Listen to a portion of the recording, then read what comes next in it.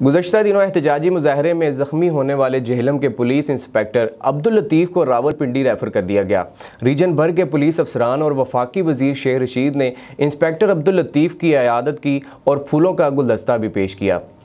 पूरे पंजाब की तरह झेलम की तहसील दीना में भी एहतजाजी मुजाहरे के दौरान कई पुलिस अफसरान व एहलकार दौरान ड्यूटी ज़ख्मी हुए, जिनमें इंस्पेक्टर अब्दुल लतीफ़ भी शामिल थे।